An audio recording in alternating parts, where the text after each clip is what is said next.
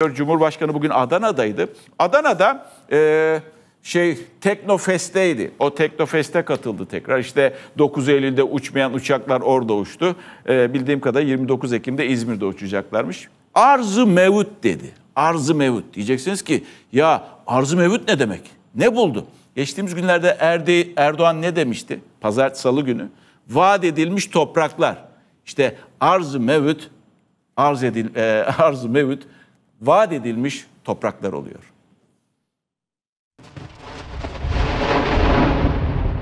Bölgemizde sadece Gazze, Batı Şeria ve Lübnan'la sınırlı kalmayacak sinsi bir plan uygulamaya konulmuş. Bu planın nihai hedefinin neresi olduğunu görmek ve anlamak için kahin olmaya gerek yoktur. İsrail'in hem Gazze'ye hem Lübnan'a saldırıları hız kesmeden devam ederken Cumhurbaşkanı Erdoğan yine İsrail'in hedefinde Türkiye'nin olduğunu söyledi. Arz-ı mevut yani vaat edilmiş topraklar vurgusu yaptı.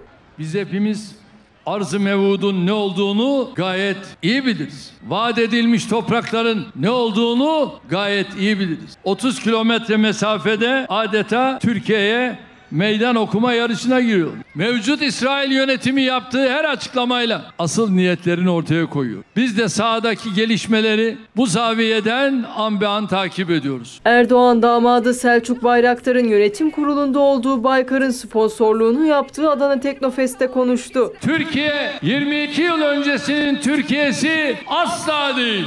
Teknofest bir gençlik destanıdır. Bir teknoloji devrimidir. Bereketli Anadolu topraklarında filizlenen güçlü sesidir.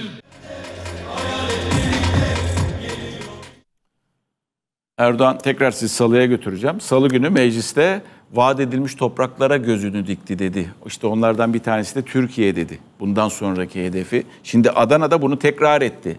Ee, bu sefer e, arzı mevüt dedi. Şöyle bir bakıyorsunuz. Tevrat'ta nasıl geçiyormuş ona bir baktım.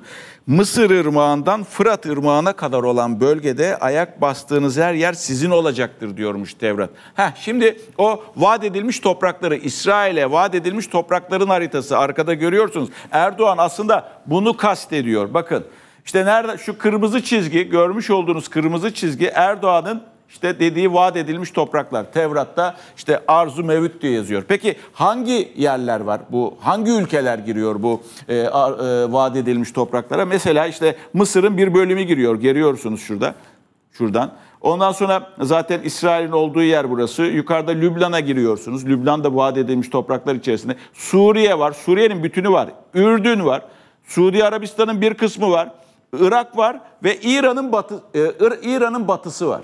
Ha, Türkiye'ye baktığımızda bunun Türkiye ile ne alakası var diyeceksiniz. İşte Türkiye'deki alakası da bu bakın. Diyarbakır, Adana, Gaziantep, Şanlıurfa, Van bu vaat edilmiş topraklar içine giriyor. Erdoğan bunu kastediyor esasında. Yani burada bir kara savaşından çünkü aradaki mesafe İsrail burada, Türkiye burada bir kara savaşında olması mümkün değil. Ama en azından şu bölgede aslında bir terör örgütü gerçeği de var.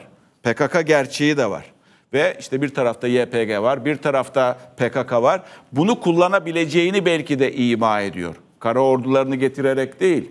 Ama bakarsınız Ürdün, Suriye gittikten sonra zaten bir anda komşu olursunuz. Ha o zamana kadar herhalde bir ittifak sağlanır diye tahmin ediyorum bölge ülkeleri adına. Müslümanlık falan demiyorum bakın. Bölge ülkeleri adına bir ittifak sağlanır diyorum. Keşke Türkiye işte bu PKK terör sorununu yıllar yıllar yıllar evvel çözebilseydi. Olmadı çözüm süreci zamanında çözebilseydi. İşte dün dedim ya size bir şeyler strateji, stratejiler geliştiriyorlar. Yani çok bildiğim için değil ama bir bir adım atmak gerekiyor diye düşünüyor herhalde Bahçeli ve Erdoğan. O adımın ne olduğunu çok değil. Önümüzdeki hafta bence meclis e, grubundaki konuşmada bunu Bahçeli'den ya da Erdoğan'dan öğreneceğiz diye düşünüyorum.